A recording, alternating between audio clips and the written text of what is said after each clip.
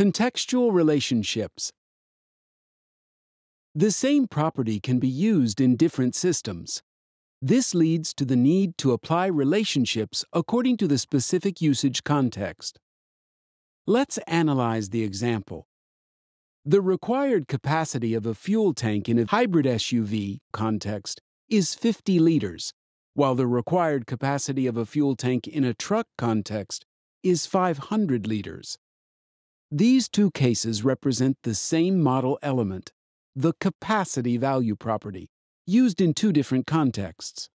To define that only value properties from the hybrid SUV context satisfy requirements, use contextual relationships. To create and display contextual relationships, you need to show multiple levels of the nested part structure within a particular system. This can be done in Dependency Matrix, Generic Table, Structure Tree tab of Model Browser, and Diagram with Symbols. Let's now demonstrate all the ways to create contextual relationships.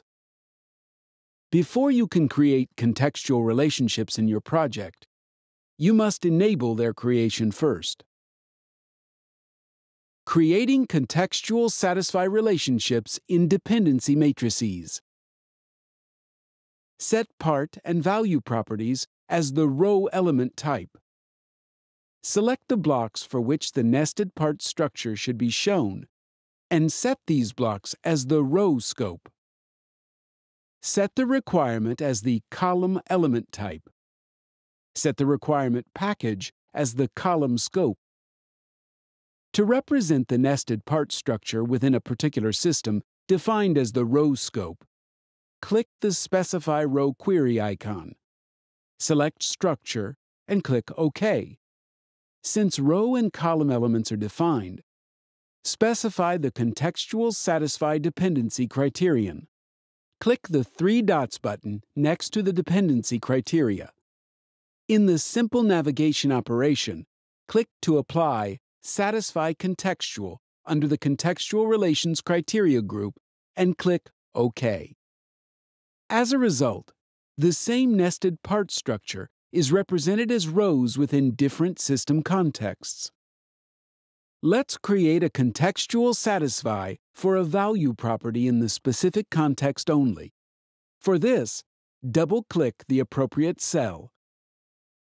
Since the satisfy relationship was created only for the value property in this particular system context, the relationship is not displayed in any other system context.